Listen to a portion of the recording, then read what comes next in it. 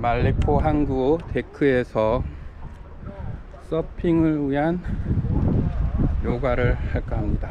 패들보드 서핑 훈련을 한 15분 정도 하고 자전거를 타고 바다 데크에서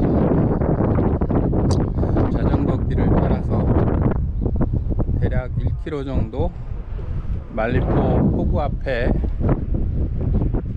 아, 데크에 왔습니다. 데크에 와서 서핑을 위한 요가 연습을 오늘부터 조금씩 시작해볼까 합니다.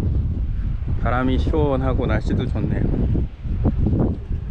네, 영상도 한번 촬영을 해 보겠습니다.